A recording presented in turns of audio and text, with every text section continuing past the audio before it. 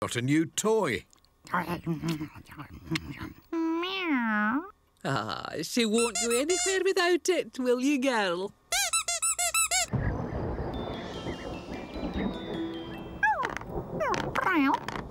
Oh, dear. It's just a bit of thunder, Bonnie. Nothing to worry about. Come on, Jess. Let's get home before the rain starts. See you later, Mrs. Goggins. And don't worry about the storm. It'll soon pass.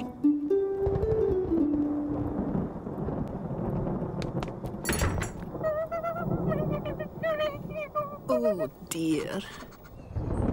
Help me, somebody, help me!